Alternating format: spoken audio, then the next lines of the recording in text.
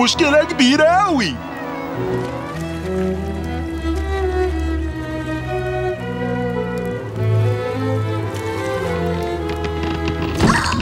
كنت بتعمل إيه؟ أنا كنت. رحت ترجع حاجتهم. أيوة. تعرف عقابك إيه؟ من اللي انت كده بتخونهم